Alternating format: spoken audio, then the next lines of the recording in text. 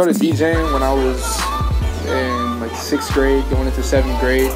Probably like 12 years old, I think, 12, 13 years old. Started, uh, I bought, I got my first set of DJ equipment uh, on Christmas. I always loved music. I tried to rap when I was younger, and I was never really like made for that.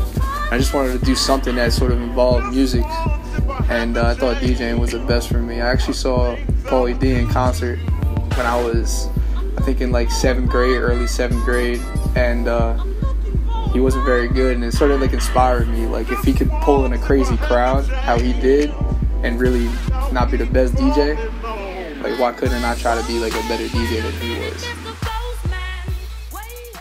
Definitely at the time, uh, I was big into house music, so Hardwell obviously was a crazy inspiration to me. Uh, all those sort of big Tiesto, all these big guys. Uh, but getting sort of smaller, uh, DJ Beatbreaker from 92.3, DJ David S, DJ Toro, all those J Dobby, all those guys from 92.3 were like a huge inspiration to me. Uh, I met I met David S at one of my first shows uh, at uh, Deco Lounge or Icon Lounge, and uh, I opened up for him, and he was just so, like such a cool dude, and gave me a bunch of pointers, doing this, doing this, and uh, he was a huge inspiration to me. And as I sort of started DJing a lot more, getting more music out, throwing out bootlegs, edits, all that stuff. Uh, DJ uh, Beatbreaker played one of my bootlegs on 92.3 on like their Saturday Night Dance Factory, and uh, that just was. I was driving home one night, just all of a sudden I hear a transition into my own song, and I was like, "What? What? What's going on? Like this isn't real life." And uh, he definitely that was a huge inspiration to me, just to sort of stay humble, work harder, and uh, I don't I don't want to settle for just my music being played on the radio like that. But he, he was a huge inspiration to me. My first show was at Club Mansion in Brick, New Jersey, and uh, I, I actually didn't even get the gig. My friend got the gig, and I was teaching my friend at the time how to DJ, and uh, he told me that it would have been that he thought I was more ready and prepared than he was. So he said, "Why don't you take this one, and we'll do the next one together." And I was, I was like, "Yeah, absolutely, I got this, no problem. Like I could do this easily." And uh, it was, it was, it was crazy, man. It was a crazy. They sold it. They sold the whole place out. And uh, again, I was lucky to have other people, other DJs there, sort of giving me pointers and keeping me like relaxed and just sort of getting me like prepared for it. Uh, one of the one of the guys I remember, uh, DJ Louis Styles. He's uh, he's doing big things right now. He's with Fetty Wap. He's producing for him, and uh, he's he was such a such a big help to me at the time, sort of giving me pointers what to play, how what the crowd likes, what they don't like, and uh, actually I DJed with uh, Mike Gipp too. That was one of the one of the first big uh, DJs I I spun with, and that was at my first show. And uh, he sort of after that we kept talking, and he gave me like pretty much his whole entire library club music, and that's where my my club background and party started started to form right there.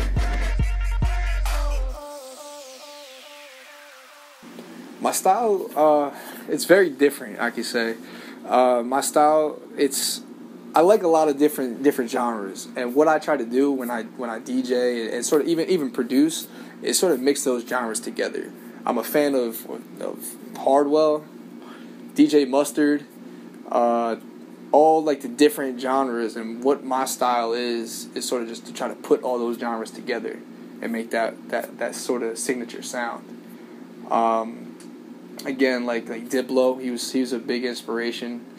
Um, all those all those sort of DJ Maj guys, they were they're huge inspirations to me, and I try to form my own sound through their sound.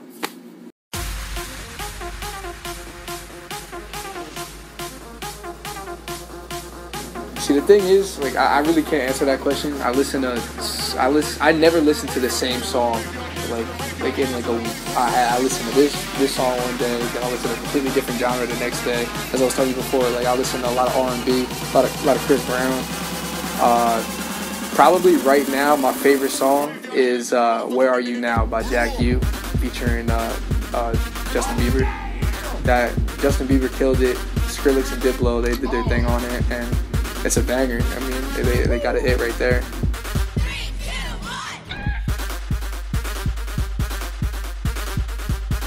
Crazy. I, I DJ'd a Seton Hall party, and uh, I was I was DJing. Everybody's dancing. Everybody's having a great time. And next thing you know, some girl comes over to request a song, trips over my, my speaker, and spills her her drink all over my equipment. Stuff skipping, stuff nothing nothing's working. Trying to figure out what to do. I made like a quick adjustment and uh, and sort of realized that one side of my equipment was broken and I can only use the other side. So what I did was I turned the other side off and was was mixing on one side only. And I was doing all my transitions on just one side. And uh, that was probably the hardest thing I've probably ever done. Um, but it was up there for craziest, craziest, uh, craziest gigs. Another different type of crazy.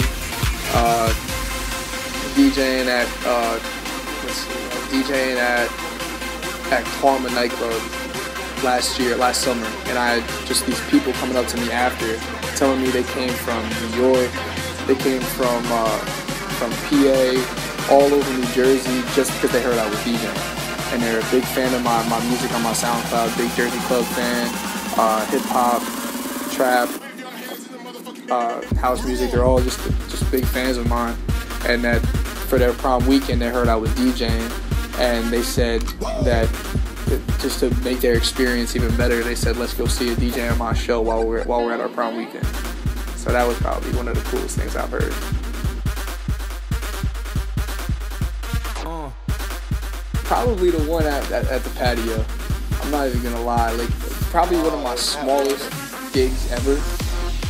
But the fact that I got to put Dave Dave Harris and my brother Joe Giuliano like on. I got them to perform, and that that was sort of like me seeing that my fan base grew so that I could start putting other people on. When I was reaching out for people that had a big fan base to sort of put me on, that was probably the, the, one of my like favorite favorite gigs. Just so because I, I saw I was able to DJ for them, and I saw that that they're sort of using my, my crowd that, that we brought in to build their fan, start their fan base and sort of build build their style.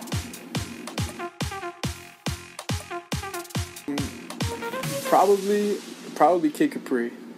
Kid Capri was one of the, the most humble and and helpful uh, DJs I've ever met. Uh, he he gave me so many like tips and pointers, and he like honestly I didn't even know it was him because that's how humble he was. I didn't know I was I was sitting next to one of the biggest DJs, and uh, he he was he was so humble, sort of showing me like some songs. What what do you hey what do you think about this? What do you think about this? And then asking me like, do you have anything that I could hear? Like, do you have any new songs coming out? Let me hear some songs that are out. Let me hear your most played songs. And he was just such a cool dude, sort of giving me tips on my music and giving me tips on performing. And uh, the fact that how humble he was with as big as his name is is what blew me away and sort of motivated me to sort of model myself after him. Definitely uh, going out to everybody, all like the new DJs, producers, just people on the come up. Um, it's it's not easy. If if fame were to happen overnight, everybody would be famous. It's not easy. I, I'm not famous. I'm far from it and uh, I, I work my ass off every single night. Every night, every day. Like I'm still in high school. I bring my my production laptop right here. I bring this in my backpack every single day to school, and in my math class, in my English class, in my lunch, in, in my gym, in any of those classes, you'll see me with headphones on and on my laptop because this is my passion and if it's your passion, you'll learn to do it anywhere. We go out. I go out to eat with my family. I go here. I go here. I'm always having my laptop on me. Always trying to. Every time I think of an idea, lay it down. Uh, if it's really a passion, it really means something to you. You'll you'll find time to work. Also, with with getting like your name out there, you're gonna get rejected probably a thousand more times than you get noticed. And don't let ever let that like discourage you or anything like that it's it's part of the game. It's part it's part of the grind. It's it's tough, but it all pays off. And uh, just just keep working, stay motivated, keep trying to collaborate with others because that's that's the best with getting your name out there is collaborations. Um, but stay true to yourself, stay humble, and don't ever let anything get get to your head. Don't let your head get too big, and because that's that's what people like. People like humbled, humbled uh, artists and and stuff like that. So that's definitely my my piece. Show me what's on your mind. Uh, once again, you could follow me at DJMI973, all one word, on SoundCloud, Instagram, and Twitter.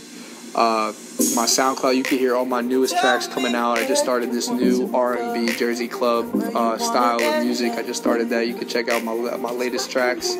Um, for my my Twitter and Instagram, follow me, mention me, uh, shout me out. I'll follow you back. Uh, Facebook, just type in djm.i. Pretty simple. Uh, once again, thank you for all the support everybody's been giving me, and uh, follow me, and I'll, I'll follow back. Thank you for. Shout out to Team Reckless, first of all, for putting me on. Uh, shout out to Stevie G, Tricks, Max Blue, Trey, Paulie. Shout out to all y'all from Team Reckless. Like, thanks for putting me on, man. Y'all, y'all really, y'all really still behind me with this whole movement. Uh, shout out to 4B. 4B's been a homie, homie since I started. Uh, young kid, I'm Marquise. Y'all put me on with, with, with the collabs and you guys really came through for me. I appreciate y'all. Shout out to Jules for all DJ Jules for all the support. Uh, he just endless support he always gives me, and I appreciate that. Uh, shout out to Mikey P. That's that's my homie from Karma. Him and I DJed there pretty much every single time I DJed there. And once again, Kyle Hughes. That's that's my homie. Shout out to you for for always like taking me through your events. You know, I show you support. You, you show me support. Like I appreciate all you guys showing me that support, and it means a lot. And uh, just once again, just thank you for everybody. If I forgot you, I apologize. Just thank you for everybody for showing me continuous amount of support. Uh, it really means a lot, and, and I, I don't forget about y'all. Don't worry. Uh, real quick, shout out to my family. Uh, always since I started showing me support, coming to all my events that they could get into. I did a lot of teen events, so my, my, my parents weren't really able to get into that. But shout out to my brother, uh, Dave Harris, uh, just everybody that continuously showed me showed me support, and uh, just just I want to thank thank my family for always like standing behind me with everything I wanted to do. And uh, if I wanted if I wanted a speaker, they would come through, but I, throw them some money back just to show them that it's, it's mutual. But uh, anything I needed, anything I wanted done, anything I needed help with, they always came through for me, and I appreciate that.